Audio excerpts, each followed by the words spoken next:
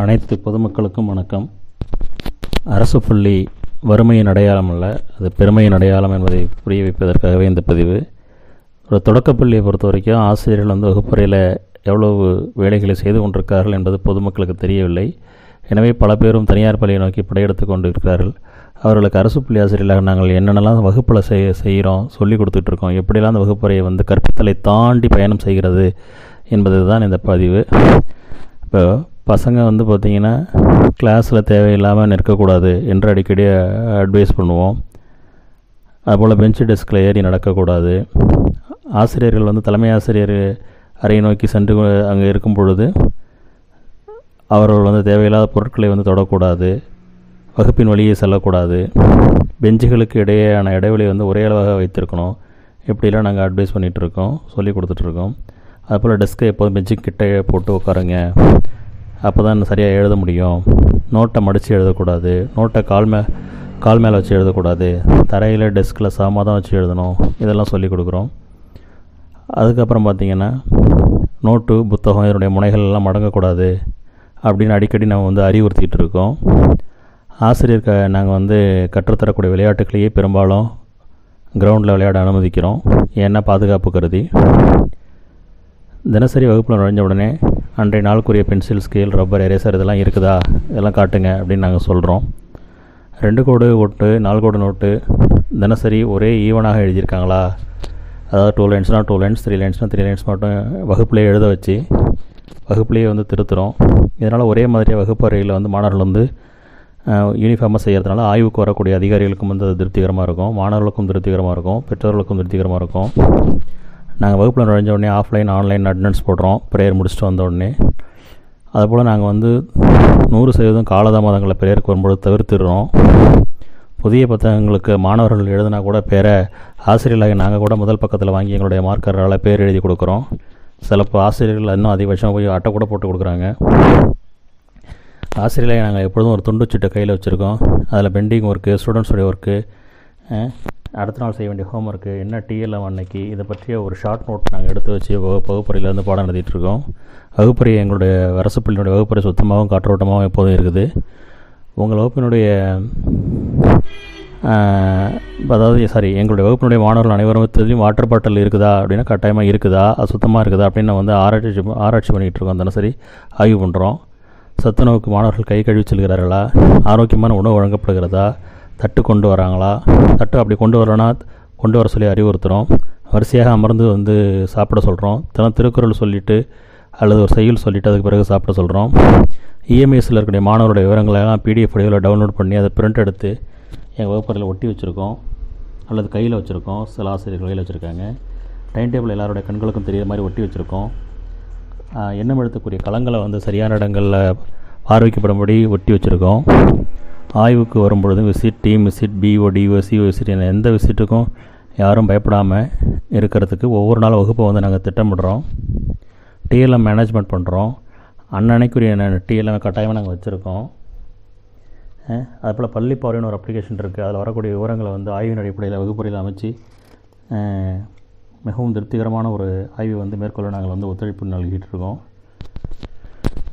ஆய்வின் போது கல்வி அதிகாரிகள் ஏதேனும் ஒன்றுபட்டு கேட்டாலே அது சார்ந்த தொடர்புடைய பல்வேறு விஷயங்களை தொடர்ச்சியாக நாங்கள் வந்து என்ன பண்ணுறோம் சொல்லி விளக்குறோம்.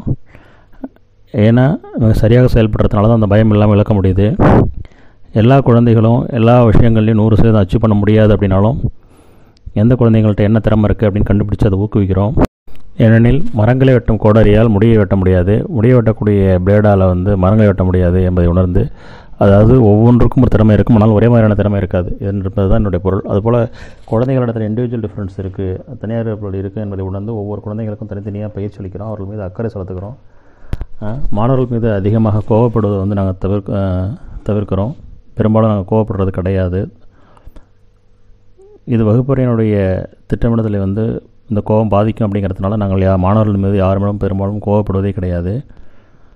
பெற்றோர்கள் இழந்த குழந்தைகள் பெண் குழந்தைகள் மற்றும் உடல் மற்றும் மன ரீதியாக பிரச்சனை உள்ள குழந்தைகள் ஆப்ரேஷன் செய்யப்பட்ட குழந்தைகள் என்ற ஒவ்வொரு குழந்தைகள் தாழ்வு மனப்பான்மை உள்ள குழந்தைகள் என்ற ஒவ்வொரு குழந்தைகளையும் நாங்கள் உளவு உளவியல் ரீதியாக வந்து அன்பாக வழிநடத்தி செல்கின்றோம். ஒவ்வொரு குழந்தைகளுடைய பெற்றோர்களையும் நாங்கள் வந்து எங்களுடைய தொலைபேசியில் சேவ் பண்ணி வச்சுருக்கோம். வாட்ஸ்அப் குரூப் அமைச்சு அதுக்குன்னு எங்களுடைய ஹோம்ஒர்க்கு விடுமுறை மற்றும் முக்கியமான தகவல்கள் என்று பெற்றோருடன் பகிர்ந்து வருகிறோம். குழந்தைகளை பார்த்திங்கன்னா நிறைய வந்து வார்த்தைகளாலும் பரிசுகளாலும் நாங்கள் வந்து பாராட்டி கொண்டே இருக்கிறோம். தலைமை ஆசிரியர் மற்றும் பிற ஆசிரியருடன் கருத்து வேறுபாடு தவிர்த்து முடிந்தளவு மாணவர்களுடைய நலனுக்காகவே நாங்கள் வந்து பாடுபட்டு கொண்டிருக்கிறோம். பள்ளியின் நேரங்கள் முடிந்த அளவு பார்த்திங்கன்னா வகுப்பின் உள்ளேயே நாங்கள் வந்து இருக்கிறோம். வெளியில் தேவையில்லாத அரட்டை இது போன்ற விஷயங்கள் நாங்கள் ஈடுபடுவதில்லை. மாணவர்களுடைய நலனே கருத்தாக கொள்கிறோம் ஒவ்வொரு நாளையும் ஒவ்வொரு நிமிடங்களையும் நாங்கள் பிஸியாக வச்சுருக்கோம் மாணவர்களுக்காக. ஒவ்வொரு நாளையும் திட்டமிடுறோம். தேவையற்ற ஃபோன் கால்களை நாங்கள் வந்து பள்ளிகளில் பேசுவதில்லை. அதை தவிர்த்து முக்கியமான ஃபோன் கால் அழைப்பு மட்டும் இருந்தால் மட்டும்தான் அஃபிஷியலாக மட்டும் பேசி வருகிறோம். நீங்கள் வந்து பார்த்திங்கன்னா பள்ளி வேலையாக அல்லது வங்கி வேலையாக நாங்கள் வெளியே செல்வதாக இருந்தால் தலைமை ஆசிரியரின் ஒப்புதலோடு அவரோட அறிவுறுத்தல் மற்றும் வழிகாட்டுதலோடு முறையாக என்னோட ஒப்படைத்து ஒப்படைத்துவிட்டு மாணவர்களுக்கான பணிகளை கொடுத்துவிட்டு அப்பொழுதுதான் அலுவலகம் சார்ந்த வேலைகளுக்கு எப்பொழுதாவது ச அரசா அரசினுடைய அழைப்பின் பேரில் செல்ல வேண்டியிருக்கும். அதுபோன்று சென்று வருகிறோம். எனவே அந்த நேரங்களில் நாங்கள் வந்து அரை மணி நேரம் கால் மணி நேரம் கூட மாணவர்கள் நலனுக்காக பார்வையிட்டு கொண்டிருக்கிறோம். எங்களுக்கு கொடுக்கப்பட்ட எண்ணமெழுத்தும் டிஎல்எம் கிட்பாக்ஸை முழுமையாக பயன்படுத்துகிறோம். தினசரி குரல் சொல்ல வைக்கிறோம் வாய்ப்பாடு சொல்ல வைக்கிறோம் சொல்வதை எழுதுதல் டிக்டேஷன் போட போடுறோம் மாவட்ட மாநிலம் சொல்ல வைக்கிறோம். இது அடிக்கடி சொல்லிகிட்டே இருக்கிறதுனால மாணவர்களுக்கு வந்து பயிற்சி ஏற்படுது. அதேபோல் பார்த்திங்கன்னா குடியரசு தினம் சுதந்திர தினம் போனவற்றுக்கு கடைசி நேரத்தில் வந்து நாங்கள் வந்து போட்டிக்காக தயார் பண்ணுறதில்ல ரெண்டு மூணு மாதத்துக்கு முன்னாடியே திட்டமிட்டு ஸ்கிரிப்ட் பேச்சு கற்று மன செய்யக்கூடிய விஷயத்தில் முன்கூட்டியே பயிற்சி அளிக்கிறோம்.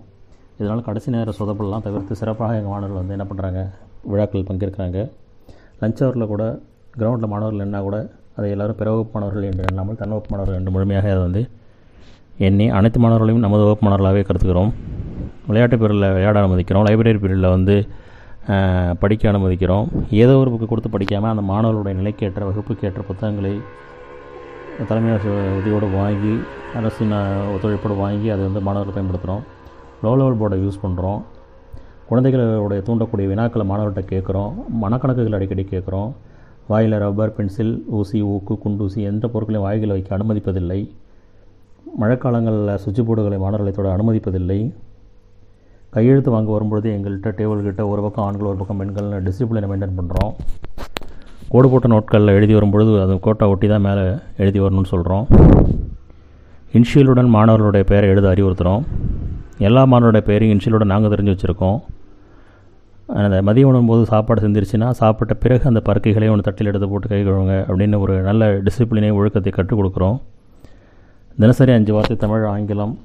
தினசரி தமிழ் அஞ்சு வார்த்தை ஆங்கிலத்தில் அஞ்சு வார்த்தை முடிந்த அளவுக்கு நாங்கள் டிக்டேஷன் கொடுத்துட்ருக்கோம் உடனே திருத்தி மதிப்பெண்களையும் குறித்து குறித்து வச்சு பெற்றோர்கள் வரும்பொழுது எஸ்எம்சி கூட்டு வரும்பொழுது காட்டுறோம்.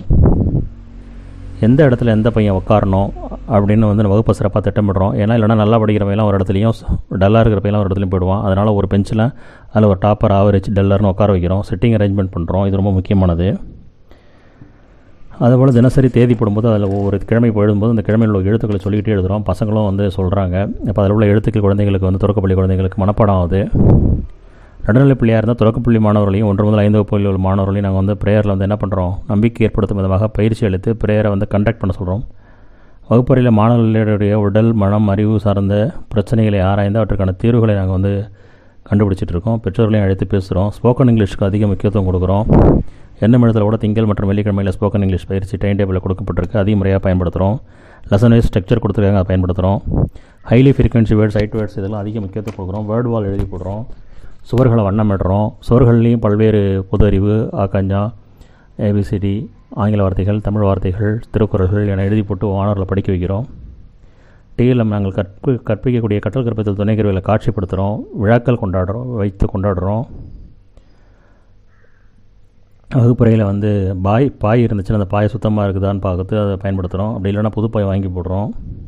அரசு செலவாக இருந்தாலும் சரி எங்கள் செலவாக இருந்தாலும் சரி. அதுபோல் நாங்கள் வந்து ஒன்று ரெண்டு மூன்று வகுப்புகளை நான்கு ஐந்து உடன் இணைத்து நடத்துவதில்லை. ஏனென்றால் எண்ணுமழத்தினுடைய திட்டத்தின்படி செயல்பட்டுருக்கோம் எஃப்ஏபி என்பது ஆன்லைன் டெஸ்ட் நடத்திக்கிட்டு இருக்கோம் எஃப்ஏஏ அப்படிங்கிறது நாங்கள் ஆக்டிவிட்டியில் அதிக முக்கியத்துவம் கொடுக்குறோம். எஸ்சி என்பது கடைசியாக நடத்தக்கூடிய தேர்வு.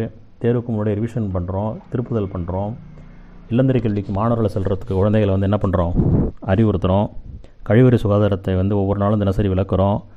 செருப்பல் போட்டு தான் போகணுன்னு அறிவுறுத்துகிறோம் முக்கிய விஷயங்களை பெற்றோர் அழைத்து பேசுகிறோம் மற்றும் கற்றல் விளைவு அப்படிங்கிறத பற்றி இது புரிவு வந்து ஆசிரியர்களுக்கு அதிகம் இருக்கிறதுனால மாணவர்களுக்கு அதை கொண்டு சேர்க்க முடியுது. குறைதீர் கற்பித்தலில் இது அதிக முக்கியத்துவம் கொடுக்குறோம். எந்த குழந்தைங்களுக்கு எந்த பிரச்சனை இருக்குது கற்பித்தல் கற்றலில் அப்படின்னு ஆராய்ச்சி செய்து அதை வந்து கற்பிக்கிறோம். அதுபோல் நான்காம் பதினைந்தாம் மாணவர்களுக்கு வந்து கற்ற நோட்டில் முக்கியத்துவம் கொடுக்குறோம். தொடக்கப்பள்ளி பொறுத்த வரைக்கும் டிராயிங் நோட்டுக்கு முக்கியத்துவம் கொடுக்குறோம். என்று எத்தனையோ முக்கியத்துவங்களை கொடுத்து கொடுத்து பார்த்திங்கன்னா ஒட்டுமொத்த வகுப்பறையுமே வந்து ஒரு கற்பித்தலை வந்து நாங்கள் மகிழ்வோடு குழந்தைகளுக்கு கொண்டு சென்று கொண்டிருக்கிறோம். எனவே நீங்கள் தனியார் பள்ளியை நோக்கி பயணம் செய்வதை தவிர்த்து அரசு பள்ளியாக எங்களிடத்தில் நீங்கள் உங்கள் குழந்தைகளை சேர்க்க வேண்டும்.